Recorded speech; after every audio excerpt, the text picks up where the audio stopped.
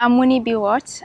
I am a Karsh international scholar from Kenya. We're all from all over the world. Each person in the group inspires me by all the kinds of things they do. I'm majoring in environmental sciences and policy and economics. After I took an environmental sciences class my freshman year, I saw like a lot of overlap between envi the environment and protecting the environment and business, and that's why I decided to do the double major.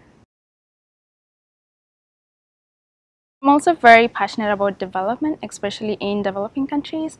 And I think a lot of times um, priority is given to development, and that comes in next expense of protecting the environment. But there's also the side that if we protect the environment, that could actually accelerate the development process.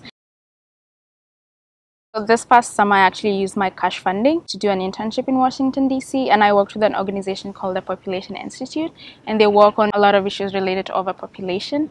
And I, uh, during my time there, I did a project on um, the barriers to family planning by women in developing countries. After I did that project, I also realized that it's actually a very crucial topic to especially countries that have still have high population growth and women are still at the back of development and that inspired me to like kind of do a similar project.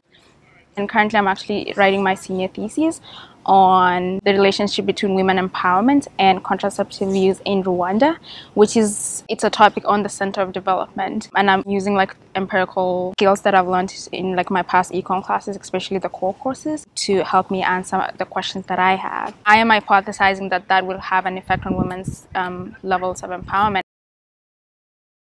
I'm working with Professor Amara Moody, and he's in the Sanford School.